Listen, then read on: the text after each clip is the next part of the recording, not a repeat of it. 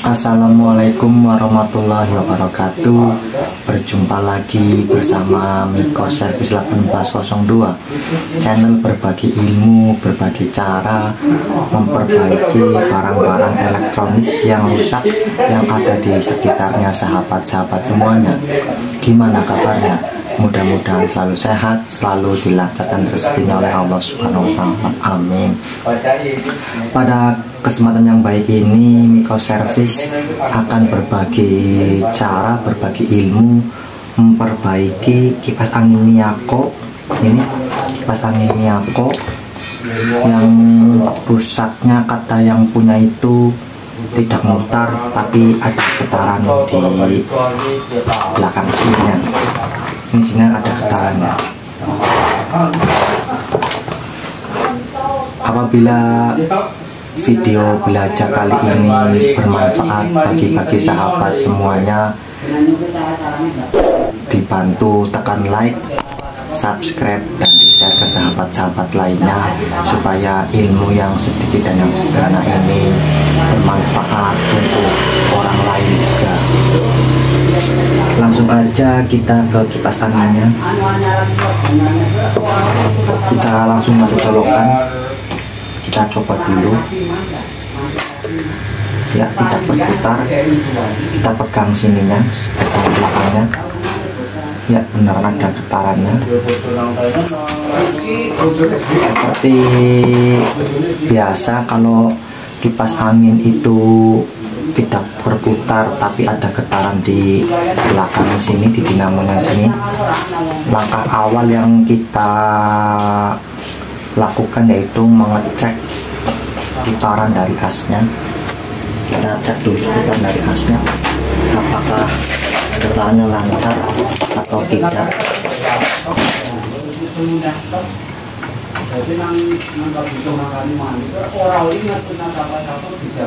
Kita copot dulu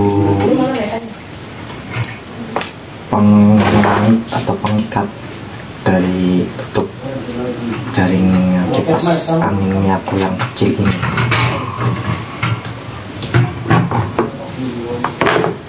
kita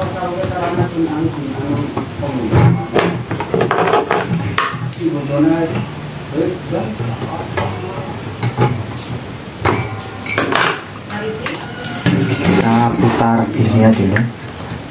Apakah ini lancar atau berat? Ini berat.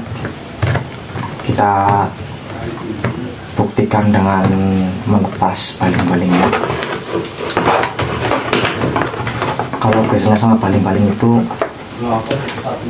biasanya kelihatan jadi lebih enteng.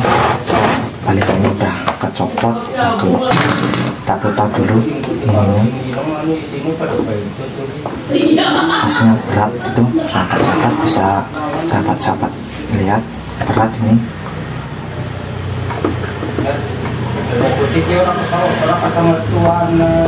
kita bongkar aja langsung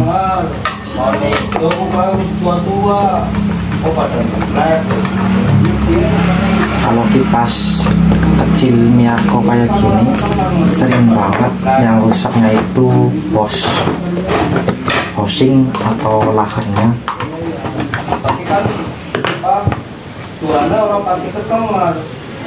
housing atau lahannya itu cepat sering kali aus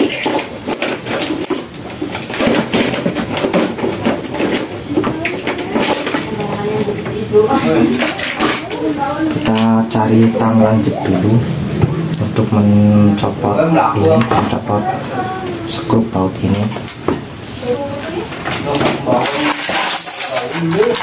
Thank you.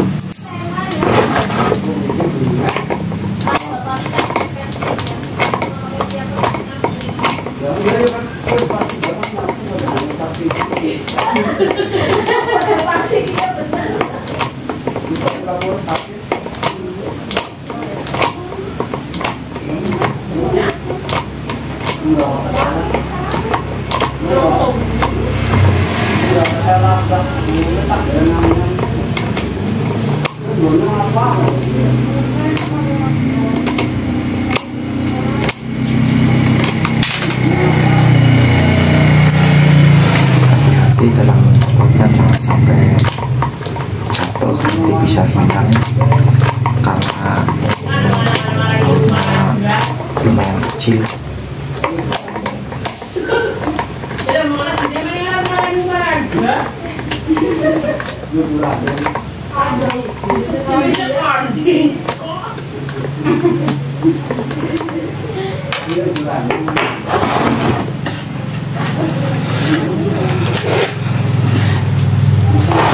terus kita copot tutup tutup depannya kemudian ada semacam penguncinya. Kita tusuk kayak gini kita ceng nah kayak gini ke keluar atasnya juga. Samping kiri juga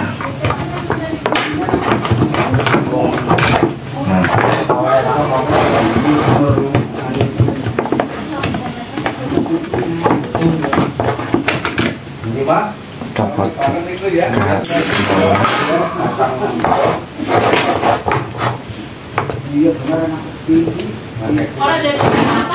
terus kita cek.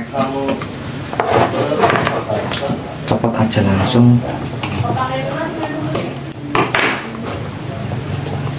Skrup yang mengait antara ini antara penyangga dengan yang dua-duanya satunya wis lupa wis Rio wis kan wis kan wong anu Mana situ ndi anu tambah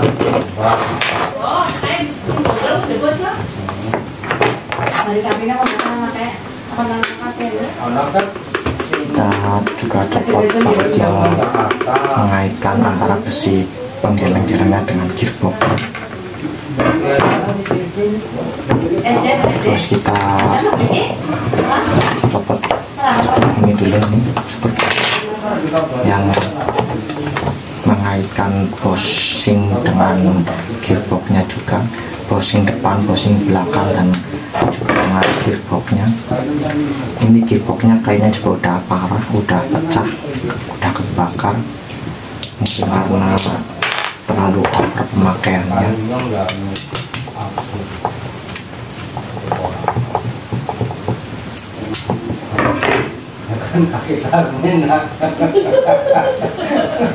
Tangan sampai ya pada bapak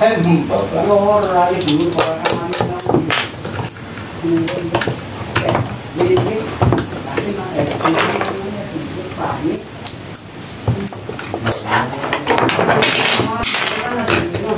bisa sahabat-sahabat lihat.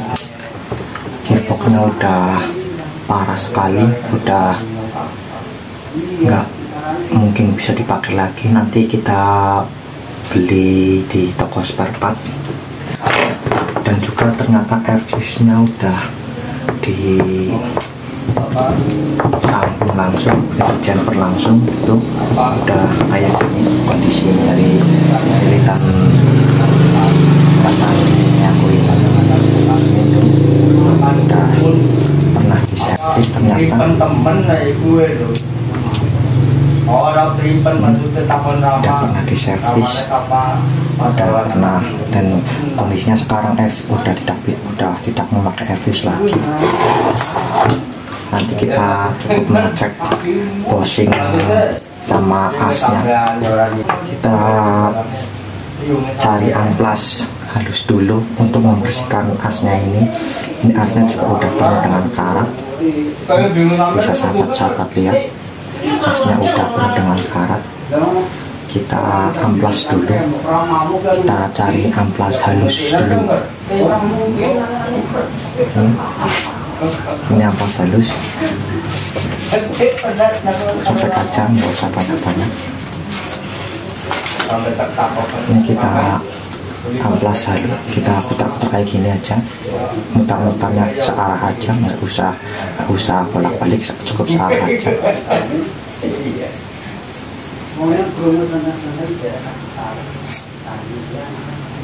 Terus yang belakang juga kita bersihkan pakai amplas juga.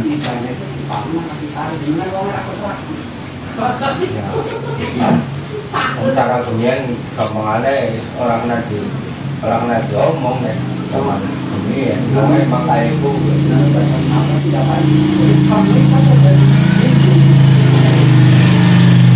kita coba cek apakah bosnya goblok apa belum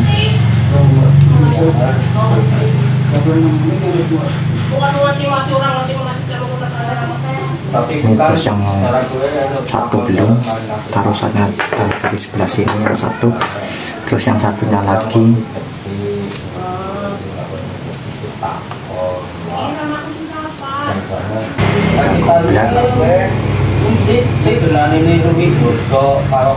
nanti nanti kita coba cari gearboxnya aja langsung. Kita cari gearboxnya di toko depan terus untuk membuktikan kalau ini rusaknya cuma mati doang kita coba hidupkan tanpa gearbox ini. Kita pasang lagi aja.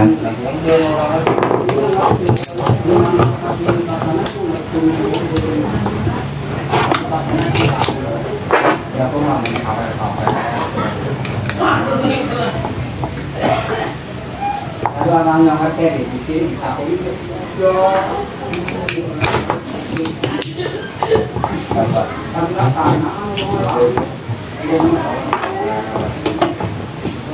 kayak seperti kayak kaki kita gunakan membaut yang kayak gearboxnya? Untuk mengunci sementara aja. Cuma untuk membuktikan bisa muter lagi apa enggak dan apa as dari kipas angin ini. Ditakutkannya nanti kalau kita udah beli gearboxnya ternyata spool dinamonya juga ada masalah. lu kaki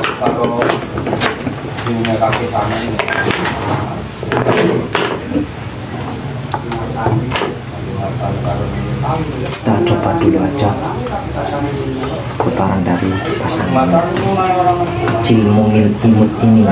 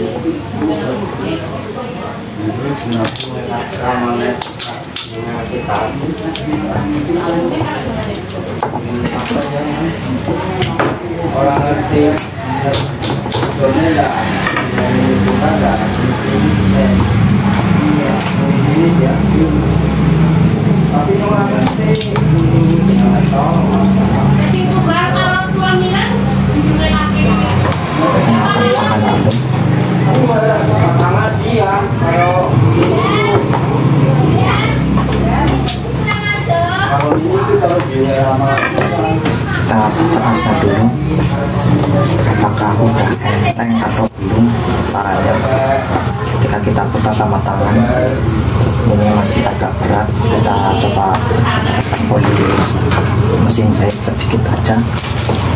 Kita tekan dulu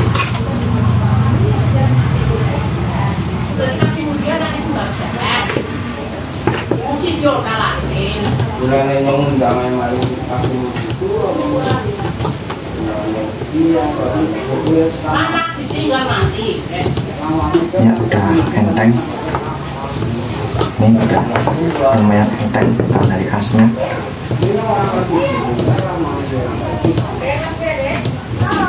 kita coba colokkan langsung aja ke listrik PLN Bismillahirrahmanirrahim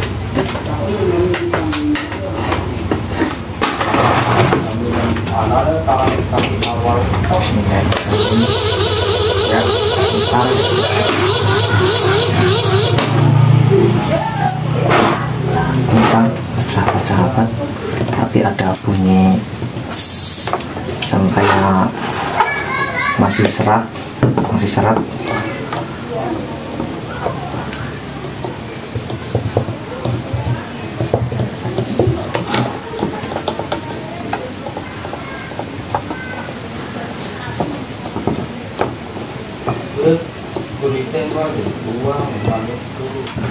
Kita pakai baling-baling aja supaya kelihatan di kamera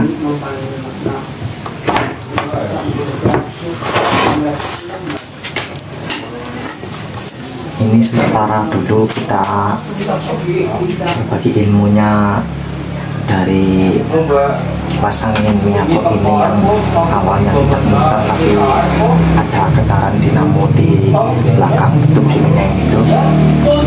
Karena gearboxnya ini udah hancur udah parah sekali. Ini bisa sahabat-sahabat lihat ini udah parah sekali gearboxnya nanti kita beli terus kita pasang di sini di tempatnya. Yuk kita coba sekarang kertasnya kita kita colokkan kan alhamdulillah kertasnya mutar kembali anginnya juga kencang banget ini. Sahabat-sahabat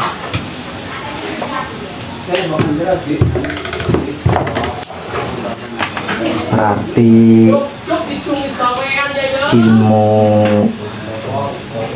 belajar kali ini memperbaiki kipas angin Miyako yang kecil yang mungil ini telah berhasil, telah sukses. Kita perbaiki bersama-sama. Apabila video belajar kali ini bermanfaat bagi sahabat-sahabat semuanya, bantu tekan like, subscribe, dan share ke sahabat-sahabat lainnya. Apabila dalam penjelasannya, dalam penyampaiannya, Miko ada kata-kata yang kurang jelas, kurang dipaham, kurang dipahami oleh sahabat-sahabat semuanya. Bahkan mungkin ada yang menyinggung perasaan. Service mohon maaf yang setulus-tulusnya. Sekian video belajar kali ini. Sampai ketemu di video belajar selanjutnya. Wassalamualaikum warahmatullahi wabarakatuh. Mantap.